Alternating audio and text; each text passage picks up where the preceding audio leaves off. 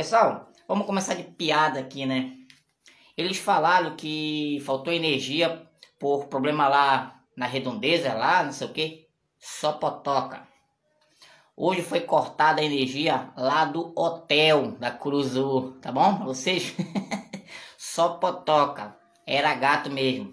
Foi cortada a energia do hotel que pra mim parece mais um albergue, né? Parece mais um albergue que não é hotel nem aqui nem na China. Então foi suspensa a energia lá do hotel do Paysandu e eles estão alegando que foi erro.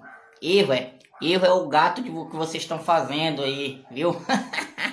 Cortar a energia do hotel. Informações do DOL, tá, papai? Não é minha, não. Pesquisem para vocês verem. E, rapaz, vão pagar, rapaz, a Equatorial, meu irmão. Para esse caloteiro, meu irmão. É doido, é? Quai, seu app de vídeos curtos.